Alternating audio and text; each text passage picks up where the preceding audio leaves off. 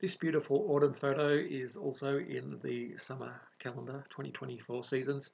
Um, I just loved the landscape of colour in this, all the different colours. Now, this was the last day of summer that I shot this, but because we'd had such a dry season uh, in Ballarat, where this photo was taken in Victoria, in Australia, um, some of the leaves had already started turning, and there was just a plethora of colours there, all bunched together, laying on the ground.